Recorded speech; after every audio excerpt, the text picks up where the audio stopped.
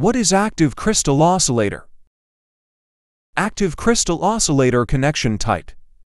Clock circuits are important in digital circuits, microprocessor or microcontroller systems.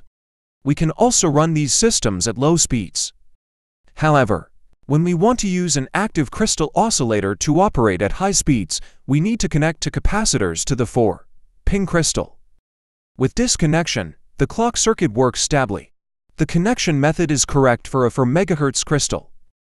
At higher speeds, for example, when using crystals of 25 MHz and above, the right capacitor should be greater than 15 picofarad. Thanks for listening.